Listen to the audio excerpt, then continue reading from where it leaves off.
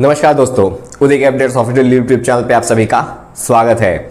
दोस्तों, Bihar staff selection की board की ओर से एक नई वैकेंसी निकल के फिर से आ चुकी है। दोस्तों, इस वीडियो में इसके बारे में हम लोग डिटेल्स में बात करेंगे। चलिए दोस्तों, ये वीडियो को शुरू करते हैं। दोस्तों, Bihar police central selection board of constables यानी सीएसबीसी इसके अंतर्गत एक बहुत बढ़िया वैकेंसी निकल के आ रही है दोस्तों। ये वैकेंसी में टोटल पोस्ट कितने हैं दोस्तों? इक्कीस हज़ार तीन सौ इक्यानवे। ये पोस्ट कांस्टेबल वैकेंसी की है।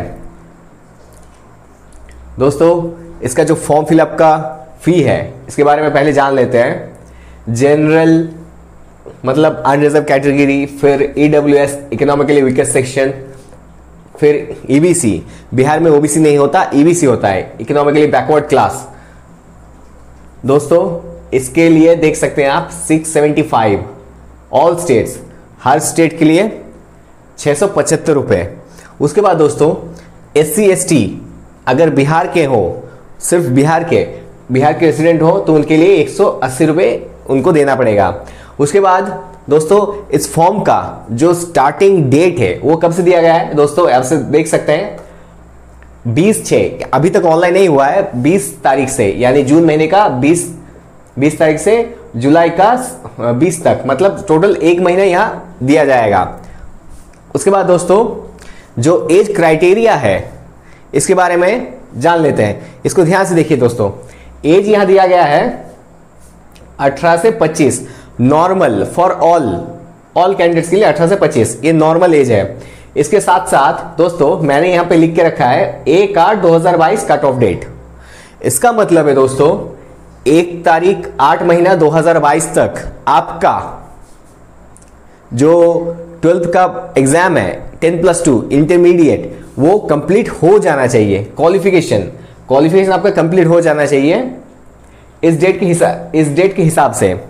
उसके बाद, दोस्तों, जो रिलैक्सेशन है रिलैक्सेशन के बारे में देख लेते हैं रिलैक्सेशन हाँ। रिलैक्सेशन यहाँ पे दोस्तों दिया गया है। रिलैक्सेशन ईबीसी e के लिए, जैसे आप देख सकते हैं 28 साल, फिर एस सी के लिए 30 साल। दोस्तों फीमेल ट्रांसजेंडर इनके लिए 18 से 30 दो दोस्तों, महिलाओं के लिए थोड़ी अच्छी छूट है यहाँ पे 30 साल तक दी जा रही है। उसके बाद दोस्तों, जो क्वालिफिकेशन है, इस क्वालिफिकेशन क्या लगेगा? इस फॉर्म को फिलअप करने के लिए आपको टेन प्लस टू या आप कह सक, कह सकते हैं 12 या दोस्तों टेन प्लस टू लेवल की कोई डिग्री अगर आपके पास हो तो आप इसको अप्लाई कर पाइएगा। दोस्तों, इसका जो पे स्केल है पे लेवल यहाँ देख सकते हैं पे लेवल दिया गया है, इक्कीस हज़ार सात सौ से उनहत्तर हज़ार एक सौ रुपया। दोस्तों, इसका पे स्केल काफ़ी बढ़िया है। इसके बाद दोस्तों, हम लोग हाइट के बारे में जान लेते हैं। हाइट दोस्तों, यहाँ एक तो टेस्ट होगा इसको कहा जाता है पीएमटी फ़िज़िकल मेज़रमेंट टेस्ट इस पे आपका हाइट चेस्ट वेट ये सब नापा जाता है। दोस्तों आपको इस फॉर्म को फिलअप करने के लिए नॉर्मली जो आपकी हाइट होनी चाहिए, वो कितनी होनी चाहिए? जैसे कि आप देख सकते हैं यू आर यानी अनरिजर्व कैटेगरी ईडब्ल्यू एस फिर ईबीसी e इनके लिए एक सौ पैंसठ centimetre for all Indian origin कोई भी हो, एक सौ पैंसठ सेंटीमीटर अगर आपके पास है तो आप इस फॉर्म को इजीली अप्लाई कर पाइएगा हाइट के मामले में। उसके बाद दोस्तों, अगर आप एस सी के अंतर्गत आते हैं शेड्यूल का शेड्यूल ट्राइब या पहाड़ी अंचल के। तो दोस्तों, आपके लिए आपका हाइट में जो छूट है वो पाँच सेंटीमीटर कम है। यहाँ घटा के देखिए 160 सेंटीमीटर दी गई है। उसके बाद, दोस्तों, अगर आप फीमेल हैं तो आपके लिए कितना है? 155 सेंटीमीटर दोस्तों, अगर आप फीमेल हैं तो आपको 155 सेंटीमीटर अगर आपके पास है तो आप एलिजिबल है हाइट के मामले में। उसके बाद दोस्तों, आपका क्या नापा जाएगा? चेस्ट फ़िज़िकल मेज़रमेंट में दोस्तों चेस्ट बहुत इंपॉर्टेंट रोल प्ले करता है तो चेस्ट नापा जाता है। यू आर ईबीसी इसके लिए दोस्तों, इक्यासी। नॉर्मली आपका चेस्ट इक्यासी सेंटीमीटर होने चाहिए। और फुलाकर छियासी सेंटीमीटर, पाँच सेंटीमीटर का अंतर आपको होनी ही चाहिए। एस सी एस टी अगर आप अंतर्भुक्त है तो 79 सेंटीमीटर से 84 सेंटीमीटर, यानी नॉर्मल में 79 और फुलाने के बाद 84 आपको लगेगा। दोस्तों, फीमेल चेस्ट, यहाँ पे मैंने नो लिख के रखा है। फीमेल के लिए चेस्ट मेज़रमेंट नहीं किया जाएगा। और वेट दोस्तों वेट लेकिन मेज़रमेंट किया जाएगा। वेट के लिए आपको नॉर्मली 48 के लिए आपकी होनी चाहिए। बहुत ज़्यादा दुबले पतले नहीं होने से आपके, आप यहाँ एलिजिबल नहीं होंगे। उसके बाद दोस्तों अदर्स अदर्स मैंने यहाँ लिख के रखा है दोस्तों अदर्स के अदर्स के मामले में आप इसको समझ सकते हैं कि यह ट्रांसजेंडर के बारे में हम लोग बात कर रहे हैं। इनका फीमेल की तरह इनका भी सेम प्रोसेस रहेगा। उसके बाद दोस्तों जो दौड़ है, कितने किलोमीटर का दौड़ है कितना दूर तक आपको जाना है, कितने मार्क्स मिलेंगे उस पर फिर दोस्तों गोला फेंक, फिर दोस्तों हाई जंप, उसके बारे में हम लोग आगे बात कर लेते हैं। तो पहले तो सिलेक्शन प्रोसेस के बारे में जान लेते हैं कि किस तरीके से आपका एग्ज़ाम कराया जाएगा। सबसे पहले हम लोगों ने फ़िज़िकल मेज़रमेंट टेस्ट के बारे में बताया था, कितने हाइट लगेंगे उसके बाद दोस्तों, जो सिलेक्शन प्रोसेस है पार्ट वन पार्ट वन में क्या रहेगा? दोस्तों पार्ट वन में आपके क्वेश्चंस पूछे जाएँगे। वो भी ओएमआर शीट में। दोस्तों, ये टोटल एग्ज़ाम आपके ओएमआर पैटर्न पे होगा। ऑनलाइन एग्ज़ाम नहीं होगा। तो पहले तो दोस्तों, आपको क्वेश्चंस पूछे जाएँगे 100 100 क्वेश्चंस में से 100 मार्क्स मिलेंगे और दो घंटे का समय भी दिया जाएगा।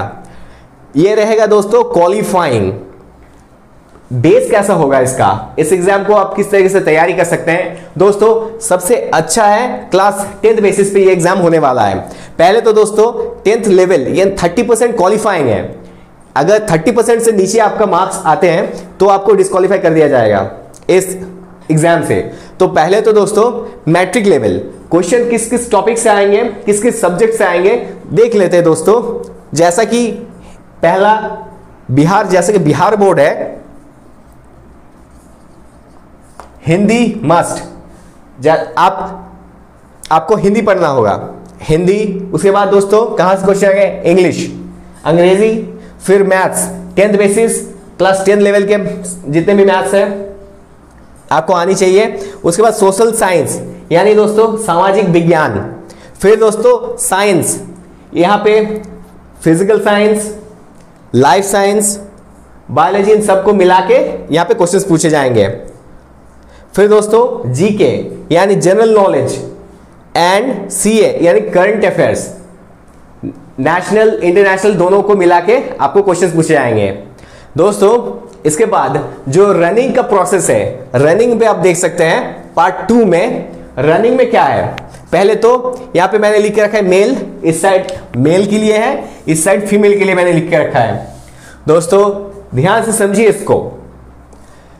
रनिंग में आपके मार्क्स मिलेंगे 50 आपको जो 50 मार्क्स मिलेंगे, किस तरीके से आपको रनिंग कंप्लीट कर रहे हैं, तब आपको 50 मार्क्स मिलेंगे, ये मैं बताने वाला हूँ। देख लीजिए दोस्तों लेस देन फाइव मिनट्स अगर पाँच मिनट से कम में आप दौड़ कंप्लीट करते हैं तो आपको 50 मार्क्स दिए जाएँगे। अगर पाँच मिनट से पाँच मिनट बीस सेकंड तक कंप्लीट करते हैं तो आपको 40 मार्क्स मिलेंगे। उसके बाद पाँच मिनट बीस सेकंड से पाँच मिनट चालीस सेकंड तक अगर आप कंप्लीट करते हैं तो आपको 30 मार्क्स मिलेंगे। उसके बाद दोस्तों, पाँच मिनट चालीस सेकेंड से छह मिनट तक अगर आप दौड़ते हैं तो आपको बीस मार्क्स मिलेंगे। दोस्तों, काफ़ी इंपॉर्टेंट है। अगर छह मिनट से ज़्यादा अगर आप लगा देते हैं इस दौड़ में तो आपको डिस्कालीफाई कर दिया जाएगा। एक माइल दौड़े सिर्फ़ पुरुषों के लिए। देख लीजिए दोस्तों 1.6 किलोमीटर, एक माइल मतलब। मेल पुरुष। इसके बाद दोस्तों रनिंग फीमेल के लिए। फीमेल में क्या रखा गया है? फीमेल महिला। दोस्तों लेस देन फोर मिनट्स यहाँ पे देख सकते हैं चार मिनट से कम कम कम में अगर आप कंप्लीट कर लेते हैं दौड़ तो आपको मिलेंगे पचास मार्क्स फिर दोस्तों, चार मिनट से चार मिनट बीस सेकंड तक आपको चालीस मार्क्स दिए जाएँगे. उसके बाद दोस्तों, चार मिनट बीस सेकंड से चार मिनट चालीस सेकंड तक आपको तीस मार्क्स मिलेंगे. दोस्तों, चार मिनट, चालीस सेकंड से पाँच मिनट तक आपको बीस मार्क्स मिलेंगे. आप जिस तरीके से दौड़ कंप्लीट कीजिएगा, उस तरीके से आपका यहाँ पे मार्क्स क्रेडिट होगा. उसके बाद दोस्तों मैक्सिमम जो टाइम लिमिट है फीमेल के लिए, उनके लिए है पाँच मिनट अगर आप पाँच मिनट से ज़्यादा लगाते हैं तो आप डिस्कालीफाई होंगे। दोस्तों, इसके बाद इनको दौड़ कितना है? एक किलोमीटर। फीमेल के लिए एक किलोमीटर दौड़। दोस्तों, आगे चलिए हम लोग बात करते हैं गोला फेंक के बारे में। तो दौड़ के बाद आप जैसे देख सकते हैं, गोला फेंक, यानी शॉर्ट पुट इस पर आपको क्या करना है? मेल और फीमेल दोनों के लिए टेस्ट आपको देना है। दोस्तों, पहले तो गोला फेंक। देख सकते हैं, इसमें मेल के लिए टोटल मार्क्स कितने हैं? 25 25 मार्क्स आपको ओवरऑल मिलेंगे। आपको कितना वज़न का गोला फेंकने के लिए बोला जाएगा? जो यहाँ गोला है, वो 16 पाउंड का है। और आपको फेंकना कितना है? 16 फीट तक फेंकना है। तो दोस्तों इसका वेट कितना है देख सकते हैं। 16 पाउंड यानी 7.257 किलोग्राम सात सात दशमलव दो पाँच सात किलोग्राम का एक लोहे का बॉल आपको दिया जाएगा, उसको आपको फेंकना है। तो आप देख ले 16 फीट से 17 फीट तक फेंकने पर आपको मार्क्स मिलेंगे 9 उसके बाद 17 फीट से 18 फीट तक अगर आप फेंकते हैं तो उसमें आपको मार्क्स मिलेंगे 13 फिर 18 फीट से 19 फीट तक अगर आप फेंकते हैं तो आपको मार्क्स मिलेंगे 17 उसके बाद दोस्तों 19 फीट से 20 फीट तक अगर आप फेंकते हैं तो आपको मिलेंगे मार्क्स 21 इसके बाद दोस्तों, अगर आप 20 फीट तक फेंक देते हैं तो आपको मार्क्स मिलेंगे 25 लेस देन 16 फीट यानी 16 फीट से कम अगर आप फेंकते हैं तो आपको डिस्कालीफाई कर दिया जाएगा। इस टेस्ट से बाहर आप हो जाएँगे।